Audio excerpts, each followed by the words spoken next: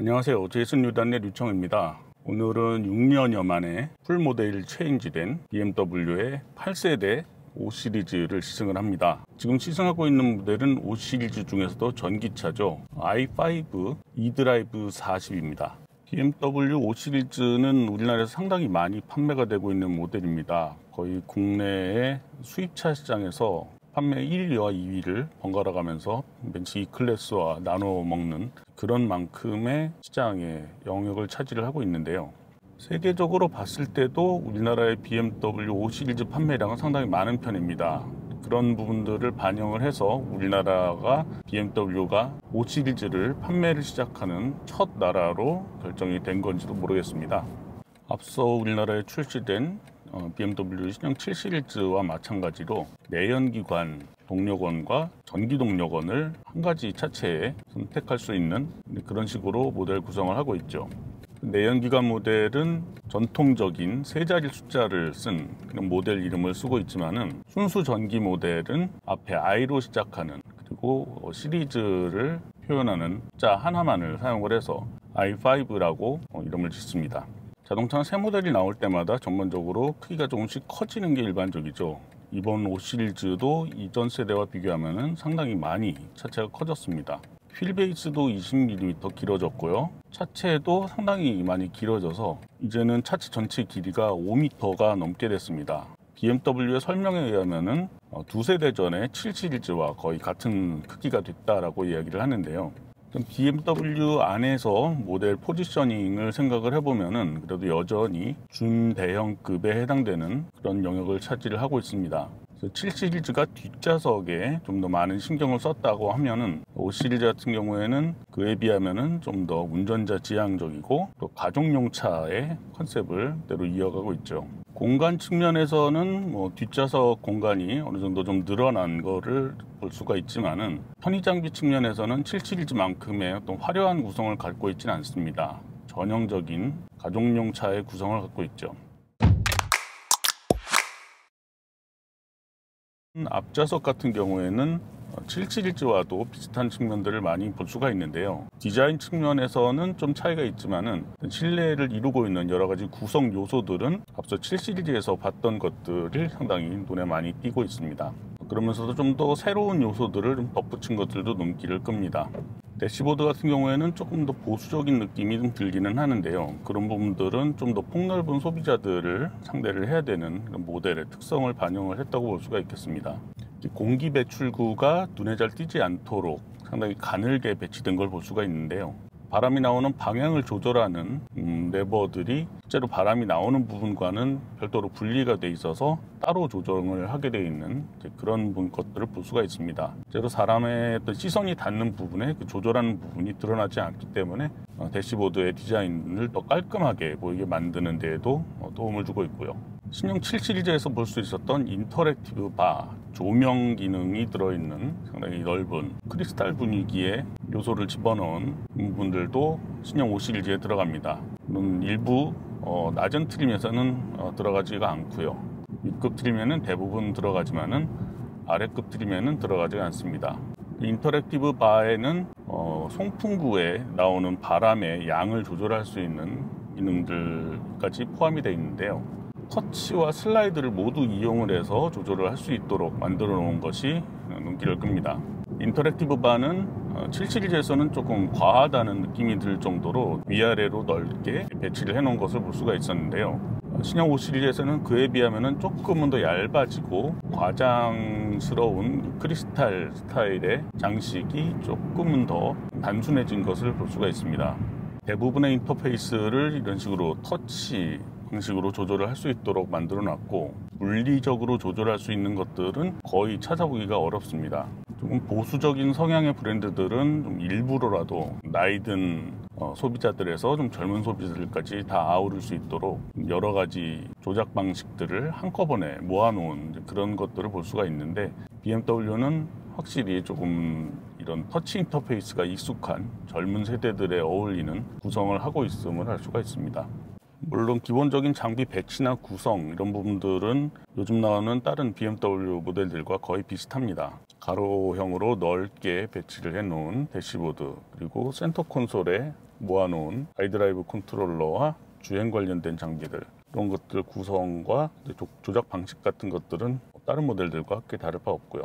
대시보드의 interactive bar와 마찬가지로 이 iDrive controller 그리고 기어 selector, 시동 버튼 이런 부분들에는 크리스탈 효과가 나는 그런 소재를 사용을 하고 있습니다. steering wheel 디자인도 뭐 새롭게 했다고 하는데요. 전체적인 구성 그리고 디자인의 특징 이런 부분들은 앞서 나왔던 다른 BMW 차들과 크게 다를 바는 없습니다. 다만 조금 기교를 부려서 steering wheel에 이제 3 spoke 중에 아래쪽으로 향하는 spoke에는 약간의 기계적인 느낌이 드는 그런 요소들을 집어넣었습니다. BMW가 또 하나 강조하는 부분은 계기판과 포테먼트 스크린에 curved display를 썼다라는 점이고요. 그리고 그보다 더 중요한 것은 이 iDrive 시스템에 새로운 OS를 사용을 했다는 점입니다.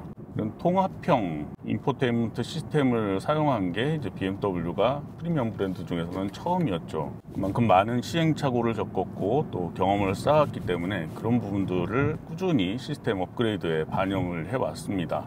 어쨌든 인포테인먼트 시스템에서 사용을 할 수 있는 기능들이 점점 더 많아지고 있기 때문에 그런 부분들을 쉽게 찾아서 활용할 수 있도록 만드는 게 시스템 엔지니어들의 고민거리인데요. 자주 쓰는 기능을 쉽고 빨리 사용을 할 수 있도록 홈 화면을 아주 단순하게 만들어 놓은 게 눈길을 끕니다. 기본적으로 내비게이션의 지도 화면이 홈 화면에 넓게 기본적으로 깔려 있고 그 위에 가장 필요한 기능들을 조금 작은 크기로 배치를 해 놓은 걸 볼 수가 있습니다. 여러 가지 기능 가운데에서도 자주 쓰는 기능들은 위에서 아래로 화면을 내리면은 hot key처럼 배치를 해서 필요한 기능만 빨리 찾아서 사용할 수 있도록 배치를 해놨고요. 가장 기본적으로 많이 쓰는 기능들은 아래에 있는 바처럼 되어 있는 부분에 아이콘 표시가 되어 있어서 공기 조절 기능, 내비게이션, 미디어 이런 부분들을 빨리 선택을 할 수 있도록 구성을 해놨습니다. 짧은 시승 중에 이런저런 여러 가지 기능들을 모두 다 살펴볼 수는 없지만은 그런 부분들은 나중에 차차 살펴보기로 하고요. 기능적인 측면에서 눈길을 끄는 것 중에 하나는 화면이 전환되는 속도 그리고 이 자연스러움 이런 것들이 상당히 매끄럽게 만들어졌다는 것을 어, 확인을 할 수가 있네요. 이렇게 지도라든가 내비게이션의 여러 가지 정보들을 애니메이션으로 표현할 때 상당히 매끄럽고 부드럽게 화면이 변화하는 것을 보면 알수 있는 것처럼 그래픽의 어, 처리 속도가 상당히 빠르다는 걸 알 수가 있습니다. 이런 부분들은 이번 5 시리즈에 추가된 영상 스트리밍 기능이라든가 게임 기능 이런 부분들을 사용할 때 확실하게 효과가 나타날 것으로 보입니다. 그래픽으로 표시되는 정보들을 보여주는 디스플레이는 거의 이제는 일반화가 되어 있는데요. 이런 부분들에서 좀 돋보일 수 있는 부분들 중에 하나는 헤드업 디스플레이입니다. 지금 시승하고 있는 차에도 헤드업 디스플레이가 설치되어 있고요. 헤드업 디스플레이 표시되는 어, 정보, 컬러 이런 것들도 상당히 세련되게 다듬어 놨습니다. 실제로 운전자가 운전하면서 필요한 정보들이 대부분 헤드업 디스플레이로 표시가 되는데요. 가장 눈길을 끄는 부분은 상당히 헤드업 디스플레이의 크기가 커졌다는 점입니다. 높은 해상도 그리고 선명도 이런 부분들은 뭐 아주 보기에 좋을 정도로 잘 맞춰져 있고요. 굳이 시선을 내려서 아래에 있는 클러스터 디스플레이를 보지 않아도 운전에 필요한 대부분의 정보들, 그 내비게이션의 차로 정보라든가 주행 속도, 주변의 제한 속도라든가 이런 여러 가지 정보들이 또렷하게 거의 큼지막하게 표현이 되기 때문에 굳이 시선을 아래로 내리지 않더라도 헤드업 디스플레이만 보면서 운전을 해도 충분할 정도로 어, 또렷하게 잘 보이는 것을 확인할 수가 있습니다. 이런 조작구들이 전자화되고 소형화되면서 생기는 여유 공간들은 고스란히 실용적인 수납 공간들로 배치가 됩니다. 컵홀더도 사용하기 좋은 위치에 좋은 높이로 배치가 되어 있고요. 그 앞에는 스마트폰 두 대를 놓을 수 있는 공간이 마련되어 있습니다. 다만 조금 아쉽게 느껴지는 부분은 glove box의 사이즈가 차 크기에 비하면 그다지 크지 않다라는 점. 그리고 door trim에 있는 map pocket이 상당히 두터워지긴 했지만은 길이가 짧아서 길다란 책자 같은 것들을 넣기는 조금 좀 아쉽다라는 걸 들 수가 있겠습니다. 시트는 대부분 BMW 차들이 그렇듯 약간은 스포티한 느낌을 주는 디자인이고 쿠션으로 이루어져 있습니다. 가운데 몸이 닿는 부분은 조금 부드럽게 처리를 하고 바깥쪽 부분은 조금 단단한 소재를 넣어서 몸을 잘 받쳐주는 그런 구성을 하고 있는데요. 어, 물론 몸이 닿는 부분이 약간 부드럽긴 하지만은 전반적으로 시트 쿠션 자체는 탄탄한 편입니다. 시트 크기 자체는 뭐 체격이 약간 있는 분들에게는 조금 답답하게 느껴질 수도 있는 정도지만은 일반적인 체형인 분들은 이게 부담스럽지 않을 정도의 크기라고 할 수 있겠습니다. 전기차 특성상 배터리가 차체 아래쪽에 어떤 무게 중심 역할을 하기 때문에 더 그런 면도 있겠지만은 시트에 앉았을 때 드는 느낌만큼 차의 승차감도 상당히 탄탄한 느낌을 기본적으로 깔고 있습니다. 상당히 무거운 배터리가 차체 아래쪽을 많이 차지를 하고 있기 때문에 더 어떤 안정감 같은 것들이 있고 이런 부분들이 차체 위아래 움직임에 영향을 주지 않도록 적당히 이제 위아래 움직임을 억제해 놓은 그런 영향도 있는 것 같습니다.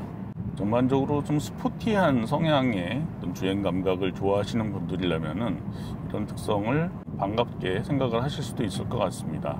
시승 코스 대부분이 고속도로로 이루어져서 뭐 다양한 노면 조건을 확인하기는 좀 어렵긴 합니다. 하지만은 일반적인 고속도로나 자동차 전용도로 같은 이런 상황에서는 서스펜션의 움직임과 타이어 휠 조합이 상당히 잘 이루어졌다라는 느낌이 듭니다.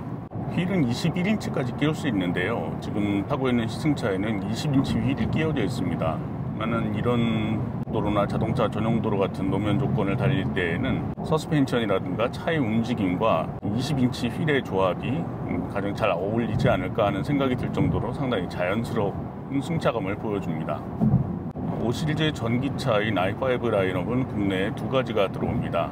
뒷바퀴 굴림 방식의 조금 출력이 낮은 eDrive 40이 있고요. 좀 더 강력한 성능을 내면서 4륜구동 시스템을 갖춘 전기 모터가 두 개가 들어가는 모델이죠.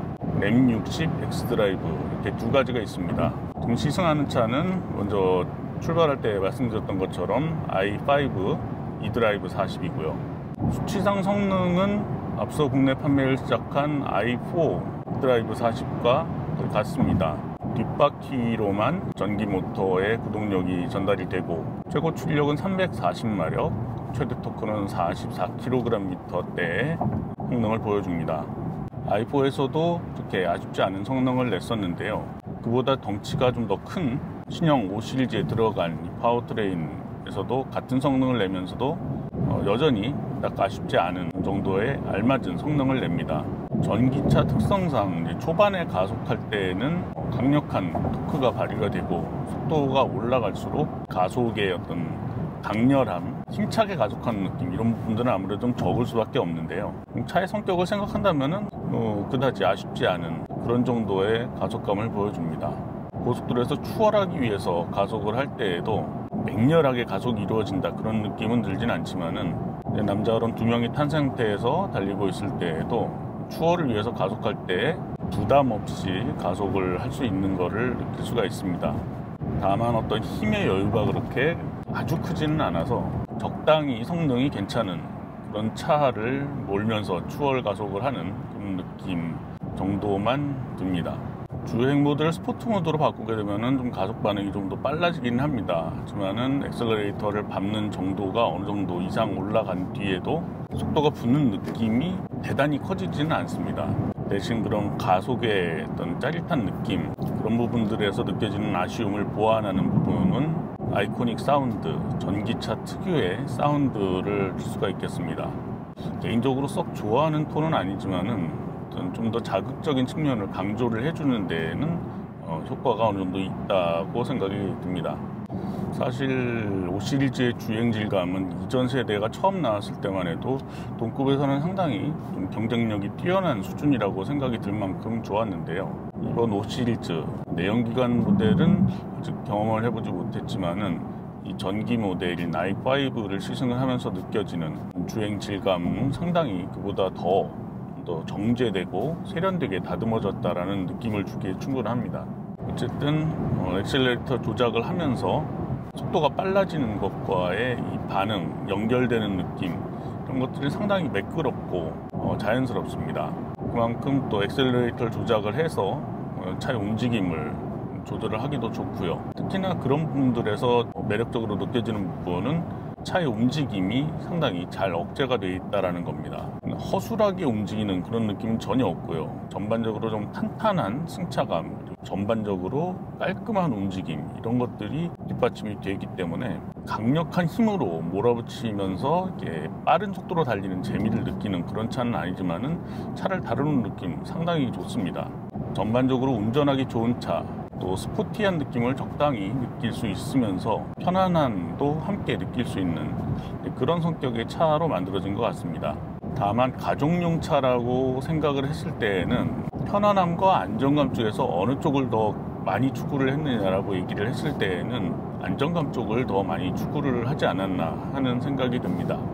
안락한 차, 편안한 차보다는 조금 더 듬직한 차 쪽에 가깝다고 얘기를 할 수가 있겠죠.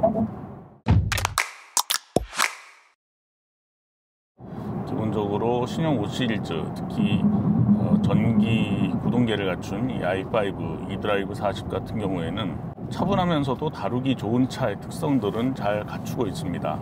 꾸밈새 자체도 요즘 트렌드에 맞는 디지털 기기 사용에 좀 익숙한 젊은 계층의 소비자들이라면 충분히 좀 잘 활용을 할 수 있는 그런 정도의 구성들을 갖추고 있고요.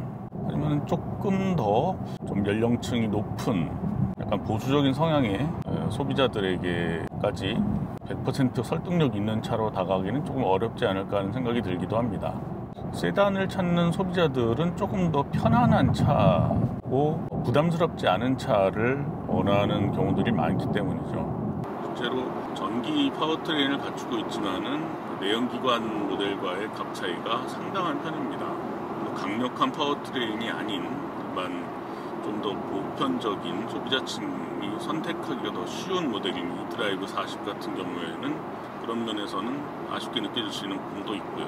하지만 어쨌든 운전자 관점에서 봤을 때에는 eDrive 40 모델이 가지고 있는 성능을 충분히 활용을 하면서 운전의 재미를 어느 정도 느낄 수 있는 BMW 스타일의 전기차를 경험해 볼 수 있다는 점에서는 의미가 있는 모델로 받아들여질 수 있을 것 같습니다.